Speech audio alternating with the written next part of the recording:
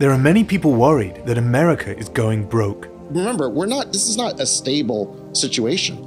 We continue to issue, what is it, somewhere between one and two trillion a year. And since the 1980s, that issued debt has accumulated to around $34 trillion, around 120% of America's GDP, reaching levels of federal debt not seen since the Second World War.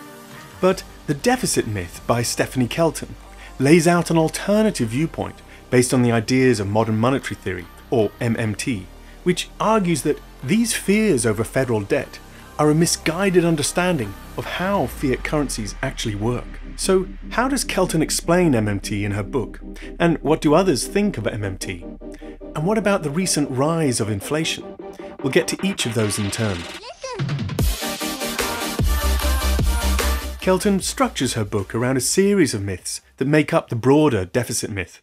The first and most familiar of these myths is the idea that you should think of the government's budget as being like a household's budget. And Kelton uses a famous quote from Margaret Thatcher to illustrate this popular view. The state has no source of money other than the money people earn themselves. If the state wishes to spend more, it can do so only by borrowing your savings or by taxing you more. So the myth is that governments must first tax or borrow your money into their bank account, and only then can they spend it. Kelton used the mnemonic TABS to capture this common viewpoint. And it's a convenient myth for the politicians who wish to shrink the size of the state through austerity measures.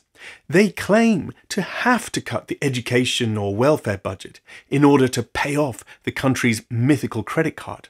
But Kelton credits Warren Mosler as the father of MMT for noting in the 1990s that this view of tax before spending just doesn't reflect what actually happens. As we'll see later, the history of the basic ideas behind MMT go back much further, but the observation still stands.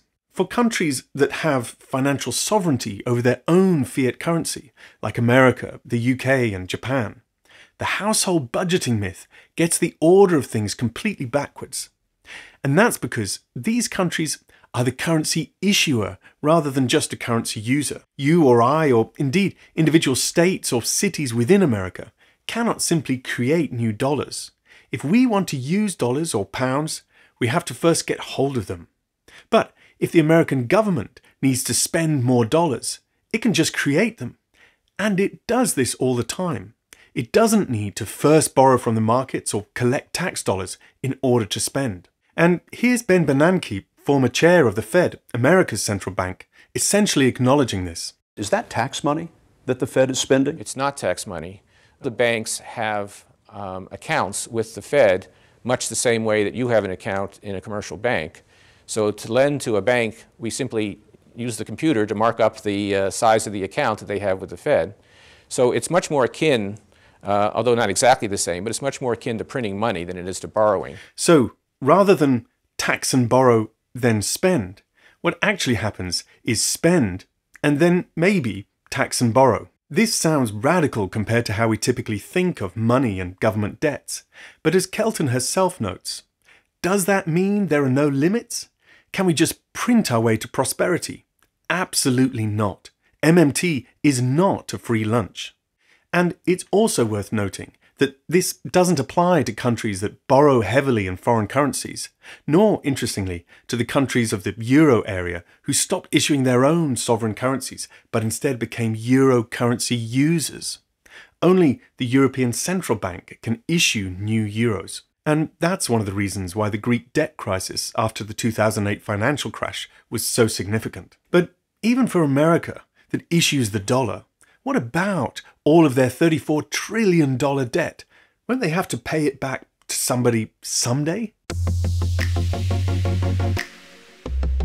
Now, when taking on a debt, it's always worth remembering that there are two aspects of the debt to worry about how to pay back the total amount borrowed, the principal of the debt, and how to pay the regular interest payments on the debt, what is sometimes called servicing the debt. And at a basic level, government debt works in the same way, which is why the household budgeting analogy is so tempting. But there are some important differences. Kelton uses the classic analogy of money being like water moving around the economy to explain how government debt comes about, imagining an extremely simple model of the economy with just two buckets one for the government sector and one for everything else in the economy, including foreign debt. Now, if the government spends $100, then taxes back $90, that will leave a surplus of $10 in the non government bucket and an equivalent deficit of minus 10 in the government bucket. Economists typically want the total sum of all buckets to add up to zero. Now, if this is what happens in one given year, then this minus $10 would be the government's deficit for that year. For America, this is the 1 to 2 trillion dollars annual deficit that David Sacks was referring to at the start. As years go by, the cumulative sum of the deficits in each year is the total debt owed by the government. Again, for America, their total accumulated debt is the $34 trillion figure. So that is their current principal on which they owe interest. And I said the debt is owed by the government. But owed to who? We'll come back to that in a moment. Now, I want to note an important phrase that Kelton uses in her book, which is the observation that their red ink is our black ink. The government sector being in debt enables the non government sector to have a surplus, to be in the black.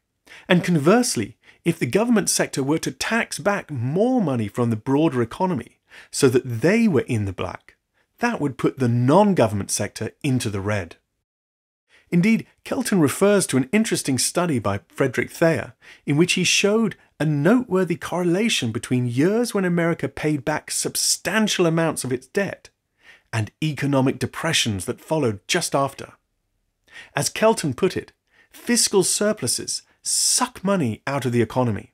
So, as history suggests that paying back too much of the principal debt could actually damage the economy, there is never going to be a moment in time when our children or great great grandchildren are going to have to pay back all of the debt. Individual treasury bonds, bills, and notes will get paid at maturity, but new debt will also be issued that largely maintains the overall debt level. But if the overall debt level isn't going to be substantially paid back, won't it just slowly grow and grow? And then, how much debt is too much debt? Well, there are two parts to this. The first is the sustainability of paying the regular interest payments, and the second is the risk of causing high inflation. But before we get to those, it'll be useful to look at what Kelton calls green dollars and yellow dollars.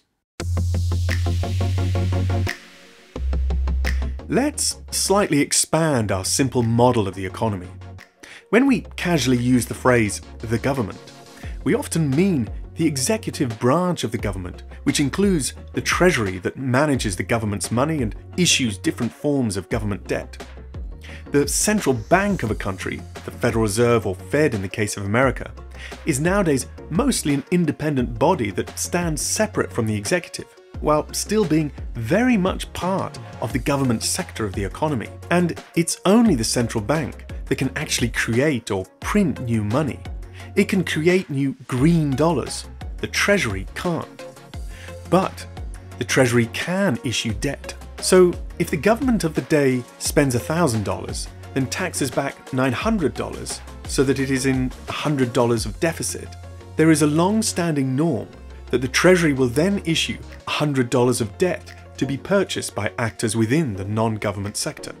So, this brings the cash balance of the executive, the government, back to zero by taking on $100 debt. Now, these dollar denominated debt instruments, like Treasury bonds, are what Kelton calls yellow dollars, which are almost as liquid as green dollars. But a key difference is that yellow dollars are interest bearing dollars, whereas regular green dollars do not pay any interest. Now, crucially, the central bank is legally prohibited from lending directly to the Treasury. It can't just buy these yellow dollars from the Treasury with the green dollars that it can print, but it can buy yellow dollars from the market, and it does so often. Traditionally, central banks buy yellow dollars from the open market as one of their ways to manage interest rates.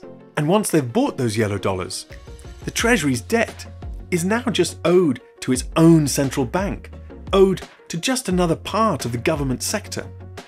Indeed, Kelton notes that in order to manage the yield curve, long term interest rates, the Central Bank of Japan has bought so much of Japan's national debt from the market that nearly half of Japan's debt is now owed to the Central Bank of Japan. So, essentially, that debt has already been paid off by the Bank of Japan printing money to pay for it. And after the financial crash of 2008, the use of quantitative easing in America and Britain and the euro area was, in effect, a way for central banks to end up buying large amounts of government issued debt. So, while the independence of central banks creates the legal fiction that the executive can no longer just print as much money as it wants, in reality, the executive can create as much debt as it wants, creating interest bearing yellow dollars.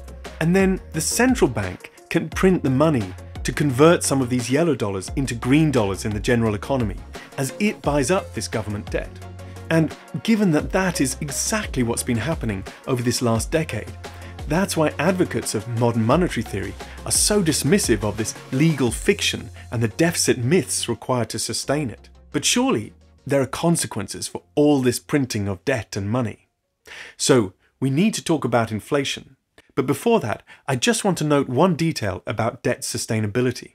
The general consensus among economists is that as long as the interest rate owed on the debt is less than the growth rate of the economy, then the interest payments on the debt will be sustainable over the long term. And that is why the Bank of Japan was buying so much of its nation's long term debt to keep the long term interest rates near zero and therefore below Japan's growth rate. This will, in theory, allow Japan to slowly grow its way out of its debt over time.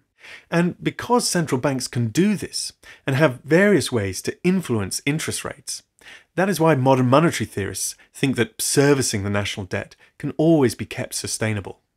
Okay, but what about inflation? Kelton has an interesting quote from JFK speaking in the 1960s to one of his advisors, the Nobel Prize winning economist James Tobin. And as Kelton recounts, Tobin recalls JFK asking, Is there any limit to the deficit? I know, of course, about the political limits, but is there any economic limit? When Tobin confessed that the only limit is really inflation, the president replied, That's right, isn't it? The deficit can be any size. The debt can be any size, provided they don't cause inflation. Everything else is just talk. So, even back in the 1960s, JFK captured the key insight of MMT. But how can you create more money without it inevitably leading to more inflation? There are many people still stuck in a mindset inherited from the era of the gold standard, when since the value of dollars was tied to gold, if you printed more money, then you had to acquire more gold in order to honor your promised link to the gold. But by going off the gold standard, America could then print money without growing their pile of gold. And so now it seemed clear that this must dilute the value of the dollar relative to the fixed pile of gold. This is certainly how most Bitcoiners think about fiat currencies like the dollar. But actually, a more correct way to see how the value of the dollar is maintained is that it is backed by all of the goods and services that the dollars can buy. So now, if you print more dollars, you don't need to grow the pile of gold. You have to grow the real size of the dollar economy. As Kelton put it, coming up with the money is the easy part. The real challenge lies in managing your available resources, labour, equipment, technology, natural resources, and so on, so that inflation does not accelerate. You don't want to have too much money chasing too few goods. So the extra demand from the extra money needs to be matched with an extra supply of goods and services. And that prevents the prices from going up. That prevents inflation. From this, Kelton argues that the key question for governments shouldn't be how shall we pay for it, but rather how shall we resource it. Now, of course, inflation is much more complex than this, but I hope I've given you a sense of why countries like America and Japan have been able to have long periods with high deficits and so growing debts, but still have low inflation. Okay, we've already seen that even JFK was aware of the basic ideas behind MMT back in the 1960s. But also, look at this clip when Paul Krugman was asked about MMT's assertions that America cannot go bankrupt because it issues its own currency. This is basically true. Um, but you don't need a new theory for that. We kind of knew that already. To a large extent, they're just doing Keynesian economics, but not they don't know that they're doing Keynesian economics and they've invented their own terminology for it. So I think Martin Wolf sums it up nicely in his book, The Crisis of Democratic Capitalism, when he says Critics counter that MMT is neither modern, nor monetary, nor a theory. Instead, they assert, it is old, fiscal, and mostly mere accounting. The MMT view is in fact more dangerous than it is incorrect. And in We Need to Talk About Inflation, by Stephen D. King, it becomes clear that many economists think that a key lesson from the periods of high inflation in the 20th century was that if a country has an inflation problem, give an independent bank the legal authority to tackle it. And that legal authority includes disciplining the government to stick within a largely balanced budget. The purpose of this explicit display of fiscal discipline is precisely to signal to the markets the country's commitment to low inflation, so that the rational expectations of all actors in the economy is that inflation will remain low. The deficit myth may indeed be a fiction, but many economists see it as a useful fiction given that human psychology plays a significant role in the complex dynamics of economics. That's why King says of MMT, it's tempting to conclude the proponents of MMT simply don't take inflation seriously. So I think there's an odd sense in which MMT has got almost a branding problem. Kelton, in her book and when interviewed, often tries to highlight just how central concerns about inflation are to the ideas of MMT deficits do matter, but they don't matter in the ways that we've been conventionally thinking about them. And the way we usually think about a deficit is that it's evidence of excessive spending. And that's just wrong. Evidence of excessive spending is inflation. So I would argue you don't have a deficit problem or a debt problem unless you have an inflation problem. But we've just had an inflation problem. And I guess many economists fear that once you've got high inflation, it's already too late. So the deficit myth is a rough guide that tries to help you avoid getting into inflationary problems in the first place. But back when this interview with Kelton was conducted in 2019, which was also when the book was being written, the world economy had been in a strange period since the 2008 financial crash, where for a decade or so there was some fairly substantial deficits. The total US debt was still climbing year on year, and yet, inflation was low and interest rates stayed very low or even at zero. So there was a decade of evidence that tightly balanced budgets aren't always necessary in order to avoid inflation. So it's no wonder that MMT became popular during this time. But even back then, advocates for small government hated the idea that there could be even a little more room for sustainable economic spending by governments. And so they would suggest that supporters of MMT are proposing wildly irresponsible levels of spending. Well, if we're talking about funding the entire so-called Green New Deal, which is estimated anywhere from 40 trillion to upwards of 90 trillion, if you think that can be funded with the printing press, you're talking about Zimbabwe, Venezuelan type territory. I simply don't believe you could, in effect, create that much money finance government just by writing a check on the Federal Reserve and not having some adverse consequences. So, to me, it seems that the nuanced message of MMT is too subtle to hold its own in the fast cut and thrust of public debate. It's too easy to caricature it and then to tear down the strawman version. And since the COVID pandemic, the case for MMT has gotten even harder to argue, as we now have seen the first substantial rise in inflation for decades. And it happened just after the massive rise in spending done to support the economy during and then after lockdowns. Of course, there is lots of debate about the primary causes for the rise in inflation. There's the impact from the supply chain disruptions from the lockdowns, the impacts of Russia's invasion of Ukraine, and the consequent sanctions and the rises in fuel costs. But For two years, there was also massive printing of money around the globe. And so, again, it's just so easy for many to see a slam dunk relationship between printing money and inflation. But to my mind, if the deficit myth of balanced budgets were true, then we'd have to see government deficits near zero or even surpluses in order to get inflation back under control. But that just hasn't been the case. Inflation in America is coming down now and is predicted to be under 3% in 2024.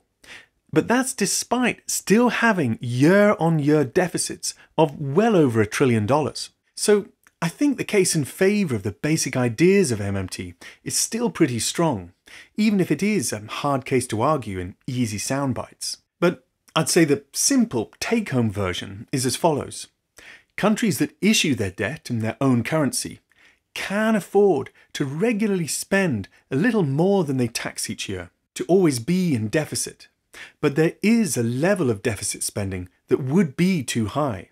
Conversely, budget surpluses are likely to be harmful to the economy. In other words, the classic ideas of austerity just don't make economic sense. So I like the challenge that MMT provides to the relentless calls to cut the welfare state in order to pay off the credit card from those who actually just want to privatize everything and have a much smaller state.